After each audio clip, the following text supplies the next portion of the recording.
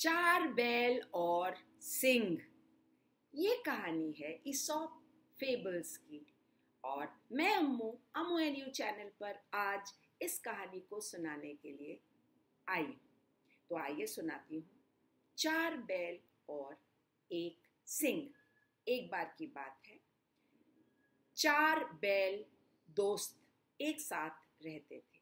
वो एक किसान के पास रहते थे। सारा दिन वो ताकतवर बैल किसान के खेत में काम करते और रात को वो खुश खुश होकर किसान उनको वादियों में घास चरने को छोड़ देता। किसान अपने बैलों से बहुत खुश था कि मैं कितना किस्मत वाला हूँ कि मेरे पास इतने ताकतवर और अच्छे बैल हैं जो अपना काम कितनी शांति के साथ करते हैं। और बैल भी आपस में हमेशा खुश रहते क्योंकि चारों दोस्त थे। आपस में शाम को वो बात करते, अपने किस्से सुनाते, कभी भी एक दूसरे को अकेला नहीं छोड़ते।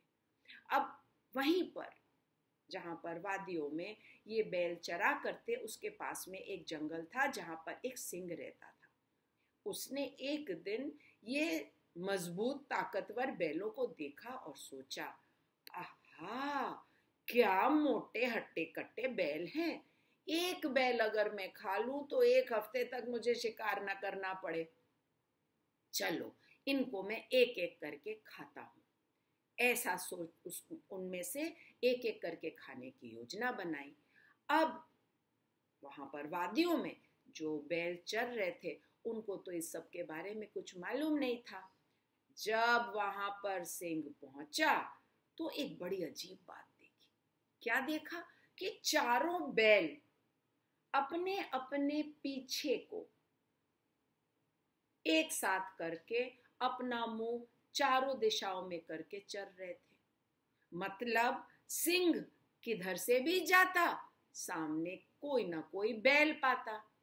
उन सब के पीछे के हिस्से, पूछ वाला हिस्सा एक दूसरे से सटा हुआ था। इस तरह से वो एक दूसरे की हिफाजत कर रहे थे। अब सिंह ने बड़ी खोश कोशिश की लेकिन जिधर भी जाता उसे अपने सामने एक बैल दिखता और बैल के तो इतने खतरनाक सींग थे मालूम था कि अगर वो पास गया तो चीर फाड़ कर ए, एक मिनट में बैल उसको मार डालेगा। अब क्या करे? और मजबूर होकर वहाँ से चला खिसियाए हुए सिंह को जाते देखकर बैलों ने आपस में कहा, हम बहुत खुशकिस्मत हैं कि हम चार दोस्त हैं। हम चार दोस्त हैं, इसीलिए हमारी एकता के कारण आज हम बच गए।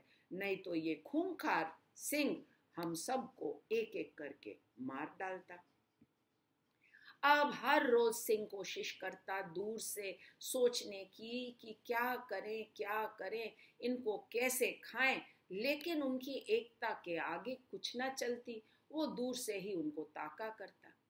एक दिन जब चारों बैल घास चर रहे थे तो एक बैल का पैर दूसरे बैल के पैर पर गलती से लग गया।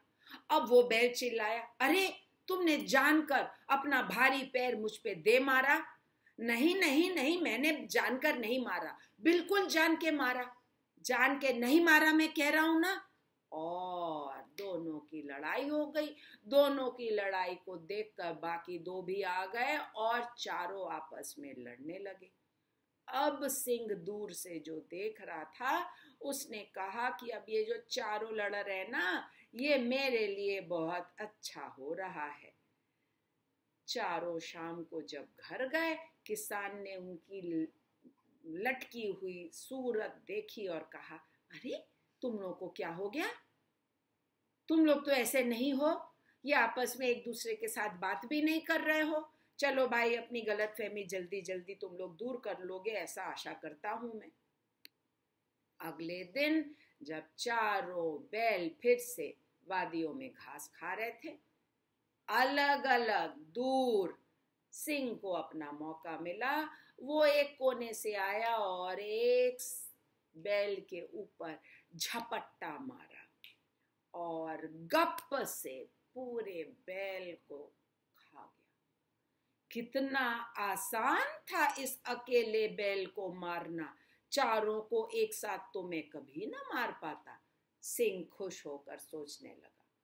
ऐसे करते करते उसने दो और बैल मार दिए आने वाले दिनों में। तब एक ही बैल बचा था। अब जब उस दिन आखिरी बैल निकला घास चरने, सिंह तैयार बैठा था। आओ बाबू, आज तुम्हारी बारी है। अब वो बैल क्या करता? उसने बोला, जब तक हम चार दोस्त थे, ये नालायक हमको कुछ नहीं कर पाया। आज मैं कितना अकेला और लाचार हूँ। रोने लगा जब सिंह उस पर झपटा चीर फाड़ कर क्यों? क्योंकि वो चारों दोस्त एकता के बल को भूल गए थे। दोस्त होना जीवन में बहुत ज़रूरी होता है और अच्छे दोस्तों के साथ दोस्ती बनाए रखना उससे भी ज़्यादा ज़रूरी होता है। दोस्तों से हम कितना कुछ सीखते हैं, हम खुश रहते हैं, सुरक्षित रहते हैं, वो हमें हमेशा मुसीबतों से बचाते हैं। छोटी छोटी गलत फहमियों से हमें लड़ाई करके दोस्ती नहीं तोड़नी चाहिए। उससे हम अपना ही नुकसान करेंगे। इसलिए बच्चों, मैं आशा करती हूँ, आप अपने दोस्त बनाएँगे, अच्छे दोस्त बनाएँगे, ढेर सारे दोस्त बनाएँगे और दोस्ती बहुत मज़बूत बनाएँगे। लाइक, शेयर, सब्सक्राइब करिए, बेल आइकन को प्रेस करिए। मेरे आने का फिर से इंतज़ार करिए। कहानी सुनने के लिए धन्यवाद। और अम्मू कहती है टाटा।